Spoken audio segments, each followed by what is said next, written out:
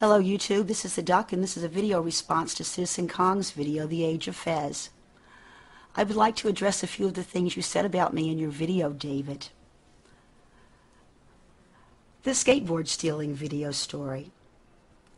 I made a video using a clip of my Pacific Coast Highway car trip, a clip of Brazilian guys longboarding, a famous female longboarder, and a dog skateboarding.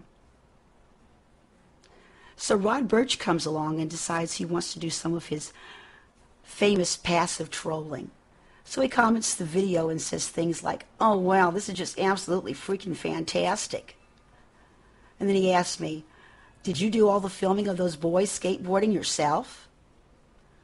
So I play along and say, sure, it was me. I did it all myself. I filmed it all. Knowing the clip was full of clues such as the Brazilian people all over the streets, the reflection in the camera lens of a male doing the filming, and the universal traffic signs you don't see in the U.S. So then along comes Grace, who goes by Tranny Petty X, and sees this as her clue to just go absolutely insane on Rod Birch's page. Of course, Rod loves this sort of drama, so he encouraged it.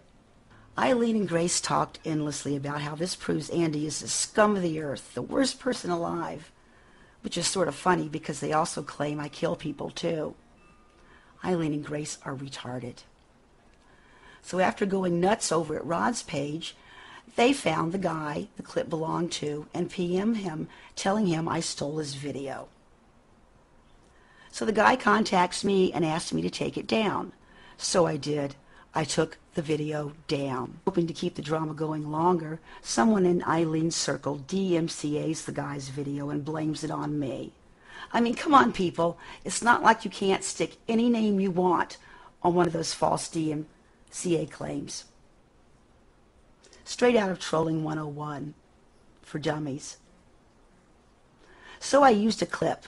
Big deal. I even put YouTube longboarding videos in the tags. How different is what I did from what you did, David, by stealing Lisa's video and totally doing a re-edit on it to please your own ego?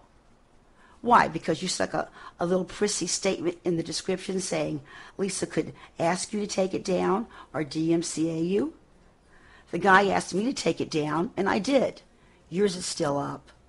So how does that make what I did different than what you did? It doesn't. It makes it the same thing.